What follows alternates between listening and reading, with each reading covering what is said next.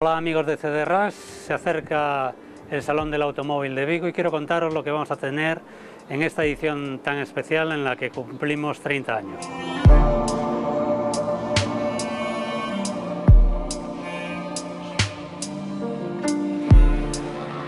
Cuando arrancamos con este certamen en la Estación Marítima de Vigo,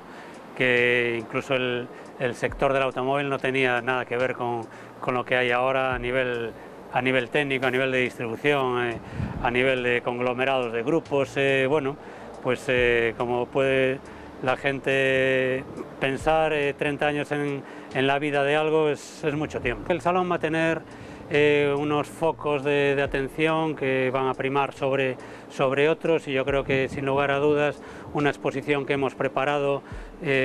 aprovechando que la marca Ferrari cumple 75 años de, de historia, pues hemos eh, reunido una,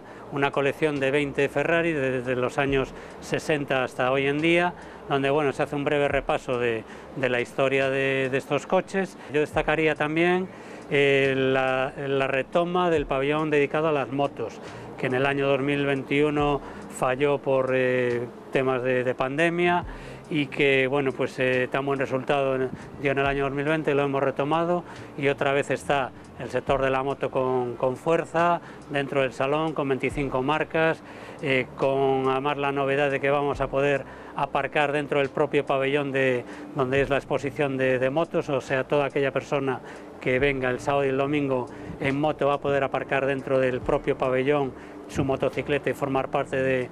la exposición y aparte tener un, descuento en, la entrada, descuento que se aplica tanto al sábado como el domingo. Y después otra exposición que yo creo que va a ser también entrañable y bonita es la que denominamos los coches del 92, que es un stand donde va a haber eh, vehículos que estaban en la primera edición del,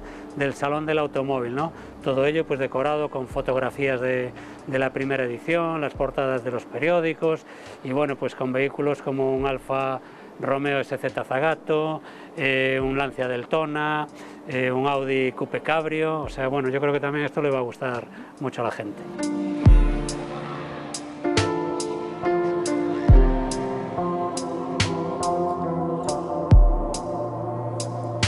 Más de 30 marcas están dando cita en el, en el salón, presentando todas sus novedades, con ofertas, con mucho vehículo eléctrico, con apoyo de nuestro patrocinador Abanca a la hora de financiar la, la compra y el seguro y bueno, pues que todas las facilidades para todas aquellas personas que estén pensando en, comprar, en adquirir un vehículo nuevo. Una vez que clausura el Salón del Automóvil el domingo, se retiran todos los coches nuevos y se llena eh, otra vez el recinto ferial de vehículo de, ocasión. Esto tendrá lugar ya a partir del, del 5 al 8 de mayo, o sea, de jueves a domingo.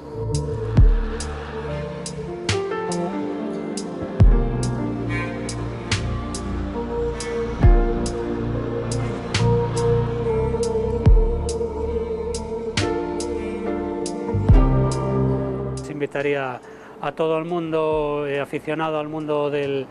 motor o con ánimo de ver eh, una opción de compra para,